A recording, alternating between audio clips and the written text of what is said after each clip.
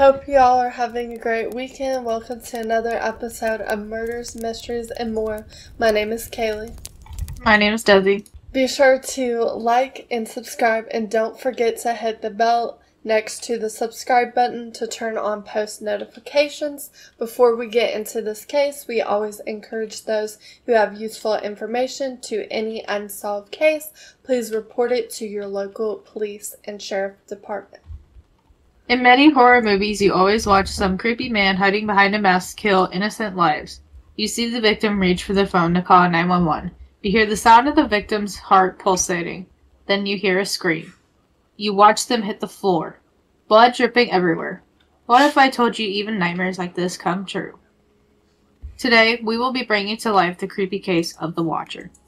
Maria Broaddus, her husband Derek, and three young children were moving to their dream home in June 2014.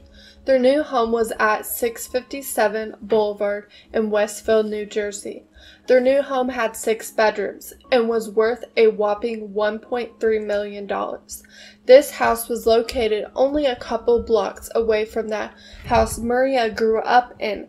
This town was considered to be one of the 30th safest town in America. Three years prior to their arrival, a letter was received in their new mailbox. New, o- new owner was written on the envelope. Here's what the letter says, quote unquote. Dearest new neighbor at 657 Boulevard, allow me to welcome you to the neighborhood. How did you end up here? Did 657 Boulevard call you to its force within? 657 Boulevard has been the subject of my family for decades now, and as it approaches its 110th birthday. End quote. It gets even creepier from there. The letter continues, quote unquote, I've been watching and waiting for its second coming. My grandfather watched the house in the 1920s, and my father watched in the 1960s. It is now my time. Watcher asks, Who am I? There are hundreds and hundreds of cars that drive by 657 Boulevard each day. Maybe I am in one. Look at all the windows you see from 657 Boulevard. Maybe I am in one. Look at all the people who stroll by each day. Maybe I am one. The letter does mention information about the Broaddus family, quote unquote. You have children. I've seen them. So far, I think there are three that I have counted. Do you need to fill the house with young blood I requested? Was your house too small for the growing family? Was agreed to bring me to your children. Once I know their names, I will call them and draw them to me. The letter ends right there, in cursive font. The author typed the watcher. Immediately, the family got a hold of previous owners, John and Andrea Woods. The previous owners found those letters very creepy and mentioned they never received any letters like these except once, which was a couple days before they moved out of their house. However, the couple dis- disregarded them and told the family they shouldn't fret over it. Regardless, the Broaddus family went to the police to report the letter. Police told them not to tell anyone about the letters because it could be one of the neighbors. Two weeks later, the Broaddus family did not move in, and there was a second letter. This letter was far more disturbing than the previous letters. The letter included the name of the family, their children by birth order and nicknames. The stalker states they saw their daughter painting outside, painting inside in a sunroom. The stalker asked, "Is she the artist in the family?" It is so crazy that not only they knew the family's last name, but also the children's nicknames. The letter continues It has been years and years since young blood had ruled the hallways of the house. Have you found all the secrets it holds yet? Will the young blood play in the basement alone? Or are they too afraid to go down there alone? I would be very afraid if I were them. It is far away from the rest of the house. If you were upstairs, you would never hear them scream. Will they sleep in the attic, or will you all sleep on the second floor? Who has the bedrooms facing the street? I'll know as soon as you move in. It will help me to know who is in which bedroom. Then I can plan better. End quote. After receiving the second letter, the parents decided to stop letting their kids visit the house. They also put moving in on hold. It does not stop from there, though. Another letter arrived at the house, and it asked, Where have you gone to? 657 Boulevard is missing you. By the end of 2014, police stopped the investigation on who the watcher was. There were no clues on the internet, nor was there DNA evidence of fingerprints. Derek Broaddus said he was suffering depression because of the letters. Maria suffered from PTSD. Like any normal family, the parents suffered. They wanted their family to feel safe, but it was far from that. Six months later, the family decided it would be in their best interest to sell the house. However, it was difficult to sell because of the media's attention to the creepy letters. The buyers went to sue the Woods because prior to purchase, the Woods did not disclose the threats they had received. A local reporter had found the complaint that included snippets from the threatening letters. The Broaddus family started looking for a developer to buy the house and tear it down. They found a buyer that wanted to split the house into two separate family homes. However, this would not work because the houses would be three feet too small, mandated by the HOA. The family wrote to the HOA, but it was rejected. Maria was devastated. She says, This is my town and I grew up here. I came back. I chose to raise my kids here. You know what we've been through. You have the ability two and a half years into a nightmare to make it a little better, and now you have decided this house is more important than we are. In 2018, the HOA agreed that another house near 657 Boulevard in Westfield could be split into two properties.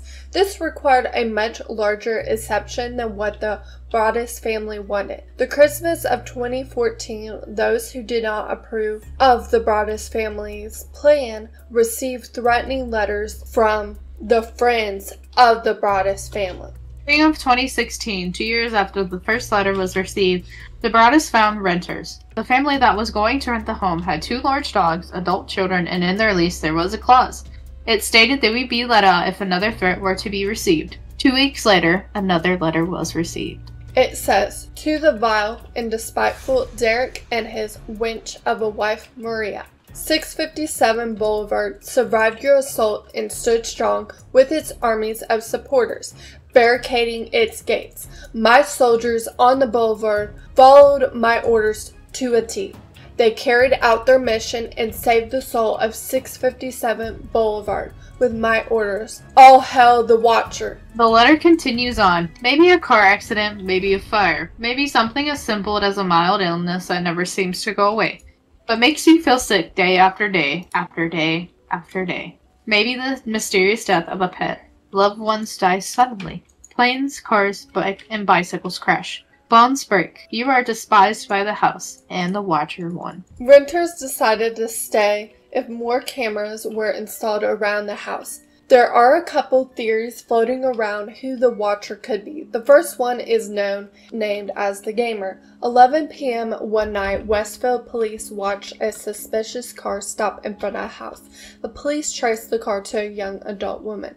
Her boyfriend lived near 657 Boulevard. The police went to investigate this woman. She talks about how her boyfriend is into some really creepy games. One game being called The Watcher. The gamer allowed police to interview him. However, he never showed up and there was a lack of evidence pointing it towards him being the suspect. The second suspect is neighbor Michael Langford. Derek suspected Michael after attending a neighborhood cookout. What's odd is that the Langford family had lived in their house since the 60s, which is mentioned in the first letter. Not only that, but his dad died 12 years later, and the Watcher does mention taking over watching the house after his dad was gone. Langford would often peek through neighbors' windows and walk in their yards. From Langford's house, he would have perfect view to watch the Broaddus's daughter paint. Police interviewed Michael before the second letter, and Michael denied knowing anything about the family. Most people in the neighborhood have vouched for Langford. They did not believe he sent those letters. Police were able to find some DNA evidence on the envelope. They saw it belonged to a woman, so they suspected Michael's sister Abby. However, her DNA did not match up with the Watchers. The last theory was the family made up the Watcher themselves. Derek wrote the letters because they could not afford the home. It was found out another family also received a letter from the Watcher, but they threw theirs away. Who is the Watcher? Could it be one of the neighbors that didn't want the Broaddus family to move in? Could it have been Derek himself because he no longer could afford to live in the home he had purchased? Could it be some teenagers that wanted to prank them? Or a serial killer lurking in the neighborhood at night. Why did the Watcher write the letters? I feel like the Watcher wrote the letters because he was getting some sort of joy out of this. He was kind of, you know, teasing or uh, tormenting this family as he was getting joy out of watching them. And as he stated in his letters before, his grandfather had watched the house in the 20s and his father had watched the house in the 60s. So he thought it was his turn to watch the house and therefore wrote the letters to let the Broaddus family know that, hey, I'm here, I'm watching your house. How do you feel about it? There's a couple different reasons why the watcher watched the house. One is that some people, even if they don't end up doing anything, they want to stop people because their mind is totally messed up and they just get extreme joy out of stalking people and making people freak out. Even if they don't want to do like any harm, still they are doing some psychological harm. They're just getting joy out of that but it also could truly be someone that is a psychopath and really did want to kill this family. And like you mentioned before, that they talked about how their father and grandfather had watched the house before, so they felt like this, whether their parents were dead or not, they felt like this was their time to take over and watch the house. Why did the Woods not inform the Broaddus family that they received a threatening letter from the Watcher before? The Broaddus family, before they purchased the home, did not find out that the Woods actually had received a letter until they purchased the home. Whenever they received their first letters, they reached out to the Woods. So I think one of the reasons why the Woods might not have informed them is because the Woods only received this letter a couple days before and they hadn't received one before, so they thought maybe that this person was doing it for a prank. It wasn't anything too serious, no harm was going to be done because they felt safe the entire time and they thought that the family would not keep receiving a whole bunch of letters. The Woods could have also not told them because when the Broaddus family did later on try to sell the home, they had struggled to sell it because obviously trying to sell home that has received some creepy letters from some sort of stalker who's gonna want to buy that home. So they probably left that part out because they wanted to move out and they were tired of being watched. So they kind of just left that information out because they believe that if they told the Broaddus family, the Broaddus family would not have bought the home and the couple would have been still stuck at this home and possibly in an unsafe situation. Could it have been a neighbor that did not want the family to move in the house? It's very possible that it could have been a neighbor, even though it is very odd to do that to somebody who is moving into a house in your neighborhood. There are people like that who are very creepy and weird and petty and are very partial to keeping the same neighbors in their neighborhood for almost basically life. Also, very weird and obsessive, but it could have been anybody. It could have even been their next door neighbor. It could have also been a prank. It there's all kinds of possibilities, but sometimes people do the weirdest things just because they don't like change. Yeah, I think it's a possibility that it could have been a neighbor because whenever this family did want to get rid of this home and like move out everything, so many different people in the neighborhood were like really kind of against the family and they were not on the side of the family to begin with. So I think that is a possibility that someone in the neighborhood didn't want them to move in. Something to say about some smaller towns as well is not all smaller towns are like this, but sometimes in certain towns they don't like change. They don't want someone new to move in, maybe because someone new has moved in before and trashed the place, and they don't want them to run the, the neighborhood. Could the Watcher be one of the previous suspects we mentioned, especially Michael Langford? The couple suspects we mentioned before were the gamer, and I feel like with the gamer, that's probably not the case because people play creepy video games all the time and people play all sorts of violent video games. And just because you play a violent video game or a creepy video game does not mean you're gonna go out and do that in real life. And there was just such a severe lack of evidence. And yes he might have played a game coincidentally called the watcher but there are so many really creepy just random games out there so it is definitely more of a coincidence it is a little bit odd that the police were able to trace like a car that stopped at night to a woman and get all this out of it but the thing is even though this car did stop creepily at night, they only saw it happen once. They didn't see it happen repeatedly.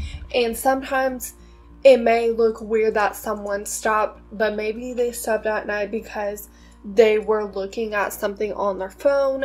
There's a number of different reasons. Maybe they just were not, maybe they got a phone call or something and just stopped. Now, Michael Langford is a little bit sus because he is peeking at other people's windows and walking through the yard. However, the writing matches a woman and they already tested his sister and it ended up not being her. But it still could have been him. It could have been a girlfriend of his or another family member because they didn't test some other family members such as his grandmother. He could have made them write it. He definitely is a little bit sus, but again, there's still a severe lack of evidence. Yeah, and it could be a completely different neighbor, or it could be some random weird dude that isn't really mentioned or thought about in this case. Don't really know who it could be, to be honest, without too much more evidence. Did the watcher hire someone else to write the letter, or was it really a woman stalking them? The DNA evidence found on the letter was from a woman, but not did not match Langford's sister Abby. So, what could have happened very easily as far as hiring someone to write the letter? He could have hired someone as far as like an outsource and all that stuff, or a private person to write this letter and paid them a decent amount of cash. He also could have convinced or even hired a family member to write the letter for him so that way he didn't leave any trace evidence on the letters so that way he wouldn't get caught. But also, it could really be a woman stalking them. Although it's more likely for a man to stalk people, or just families, or children, or anything in general, women have the same tendencies as men do. We are all human and weird parts about ourselves, but there's those people out there who are extremely, extremely creepy and different and women have those tendencies too. So it could be very possible that a woman, whether it be a woman neighbor or just some random woman in the town, could have been stalking them. Yeah, I think that there is a possibility that the Watcher did hire someone else to write it. It'd be a lot easier to get away with it if they hired somebody else. And the letter was part of the letter was typed. Obviously, they could have hired someone really far away to write these letters and send them to them, and then they sent them to the family.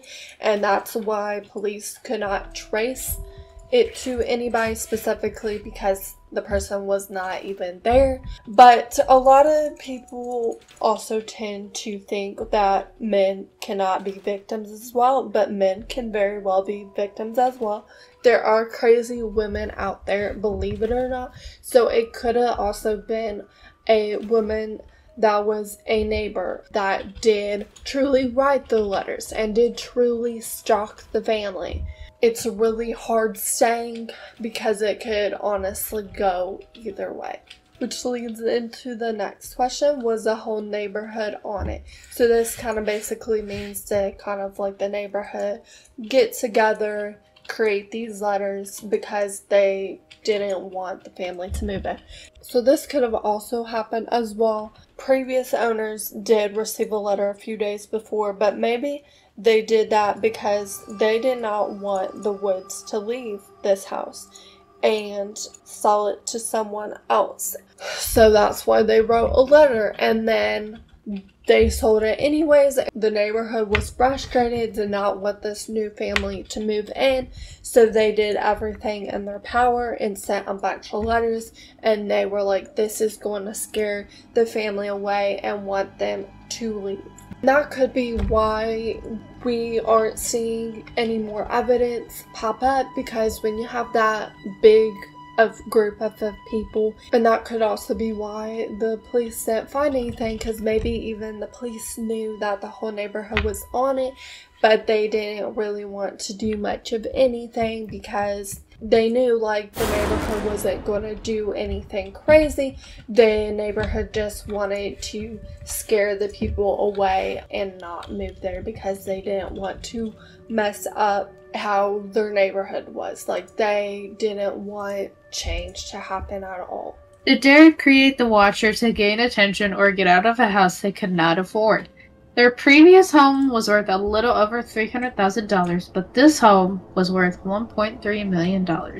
It is very possible that Derek or Derek and his wife created the Watcher to gain attention or to get out of this house, especially if they didn't have the funds or didn't really have the capability to afford it after all, like they thought people do do crazy things to get out of things sometimes or to get attention you know some people are attention whores of course. But i personally i feel like it's kind of more of a stretch for them to do that just to get out of a house they couldn't afford. If they truly didn't realize they couldn't afford it i would think that they would have realized it before the final sale had went through albeit some people aren't the smartest of course and some people don't calculate their finances, calculate closing costs and all that stuff into houses. I feel like the Broaddus family was pretty smart in knowing what they could and couldn't afford. I feel like it's definitely a very probable theory that they could have done it to gain attention or to get out of the house. But I feel like it's kind of more unlikely, and it might have just been some random creep that was trying to push them out of that house.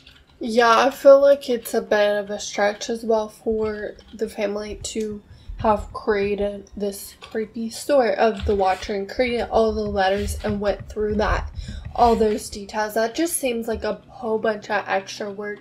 Why would Derek himself do that? And also, another neighbor as well did receive letters.